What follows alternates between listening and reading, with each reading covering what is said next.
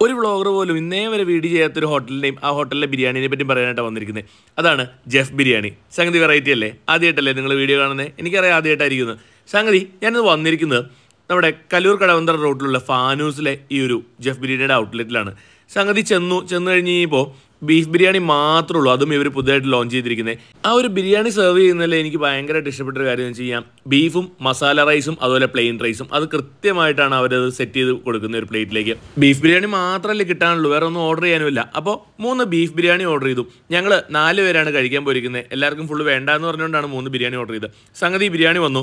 ഞാൻ ജെഫ് ബിരിയാണിനെ പറ്റി കൂടുതലായിട്ട് ആരോടും ഒന്നും പറയേണ്ട ആവശ്യമില്ല. കാരണം എല്ലാവരും ഒരുപാട് വീഡിയോസിൽ കണ്ടിട്ടും കേട്ടിട്ടുള്ള സാധനമാണ്. ഒരുപാട് പേര് എല്ലാവരും തന്നെ കഴിച്ചിട്ടുണ്ടാവും. പക്ഷേ ഇത് ഈ ഒരു ഇടയ്ക്ക് അടുത്തിടയ്ക്ക് അവർ ലോഞ്ച് ചെയ്തതാണ് ബീഫ് ബിരിയാണി. ഞാൻ കുറച്ച് നാളായിട്ട് കഴിക്കണം എന്ന് വിചാരിച്ചിരുന്നതാണ്.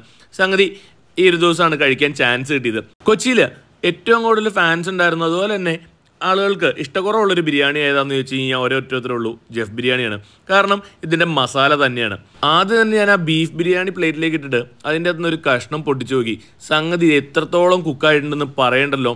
നല്ല അടിപൊളിയായിട്ടാണ് കുക്ക് ചെയ്തിരിക്കുന്നത്. അത്യാവശ്യം നല്ല വലിയ പീസായിരുന്നു എന്നിട്ടും എന്താക്കണുണ്ടോ നല്ല പിങ്ക് കളറിലിരിക്കുന്ന ബീഫ് സംഗതി സൂപ്പറായിട്ടാണ് വെന്തിരിക്കണേ. എന്തായാലും കഴിച്ചു നോക്കി. അതിന്റെ മസാല സാധാരണ മട്ടൻ ബിരിയാണി അവിടുത്തെ മട്ടൻ ബിരിയാണി കഴിക്കുന്ന പോലെയല്ല. അത്യാവശ്യം ഡിഫറൻസ് ഉണ്ട് ഇപ്പോഴത്തെ മസാലയിൽ അത് ഈ ബീഫിന് വേണ്ടി മാത്രമായിട്ട് സ്പെഷ്യൽ മസാല ആക്കിയതാണോ എന്നറിയില്ല. കാരണം മട്ടൻ ബിരിയാണി കഴിച്ചിട്ട് രണ്ട് രണ്ടര വർഷത്തോളമായി ഏതായാലും ഈ ഒരു ബീഫ് ബിരിയാണി ഇതിന്റെ മസാല എനിക്ക് നന്നായിട്ട് ഇഷ്ടപ്പെട്ടു. എന്റെ കൂടെ വന്നിരിക്കുന്ന കസിൻസ് നേരത്തെ ജെഫ് ബിരിയാണിയിൽ നിന്ന് മട്ടൻ ബിരിയാണി കഴിച്ചിട്ട് ഒട്ടും ഇഷ്ടപ്പെടാത്ത ഒരാളുകളാണ്. അപ്പോൾ അവർക്ക് പക്ഷേ ഈ ഒരു ബിരിയാണി ഇഷ്ടപ്പെട്ടു. നമ്മൾ അഫ്ഗാനി ചിക്കൻ ഉണ്ടോ എന്ന് ചോദിച്ചു സംഗതി തീർന്നു പോയായിരുന്നു. പക്ഷേ അതിന്റെ കുറച്ച് ഗ്രേവി ആൾ കൊണ്ടേ തന്നിട്ടോ സംഗതി ആ ഒരു ഗ്രേവിയും ആ ഒരു റൈസും എല്ലാം കൂടി കൂടി കഴിക്കാനായിട്ട് അടിപൊളിയാണ് ഞങ്ങൾക്ക് നന്നായിട്ട് ഇഷ്ടപ്പെട്ടു. ആ ഒരു ഗ്രേവി അല്ലെങ്കിലും അഫ്ഗാനി ചിക്കനെ പറ്റി അവിടുത്തെ യാതൊരു എതിരഭിപ്രായമില്ല ആകെ ജെഫ് ബിരിയാണിയെ പറ്റി അല്ലെങ്കിൽ അഫ്ഗാനി ചിക്കനെ പറ്റിയുള്ള ഒരു എതിരഭിപ്രായം അവരുടെ റേറ്റാണ് എല്ലാത്തിനും ഒരു ഇത്തിരി റേറ്റ് കമ്പാരിറ്റീവ്ലി എറണാകുളത്തുള്ള ഏത് റെസ്റ്റോറന്റിനേക്കാൾ റേറ്റ് കൂടുതലാണ് അവരുടെ എന്നുള്ള ഒരു പരാതിയാണ് പൊതുവേ കേൾക്കാറ്. പക്ഷേ ഏതായാലും ഈ ഒരു ബീഫ് ബിരിയാണി ഒട്ടും നിരാശപ്പെടുത്തിയില്ല. അത് സൂപ്പർ ബിരിയാണി ആയിരുന്നു. നല്ലൊരു മസാല. ഞാൻ ചെയ്യാം.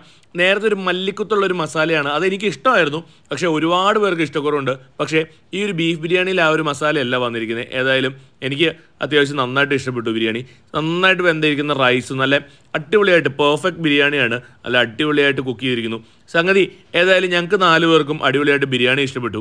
ഒരുപാട് പേര് ഓവർ ഹൈപ്ഡ് ബിരിയാണിയാണെന്നും ഒട്ടും ഇഷ്ടപ്പെട്ടില്ലെന്നും എന്നാൽ ചിലരുടെയൊക്കെ ഭയങ്കര ഫേവറേറ്റ് ലിസ്റ്റിലുള്ള ഒരു ബിരിയാണിയാണ് ജെഫ് ബിരിയാണി. അപ്പോൾ നിങ്ങളുടെ അഭിപ്രായം നിങ്ങൾ അടുത്ത കാലത്ത് ബിരിയാണി കഴിച്ചിട്ടുണ്ടെങ്കിൽ നിങ്ങളുടെ അഭിപ്രായം ഒന്ന് കമന്റ് ചെയ്യുക. എനിക്കെന്തായാലും ജെഫിലെ ഈ ബീഫ് ബിരിയാണി നന്നായിട്ട് ഇഷ്ടപ്പെട്ടു.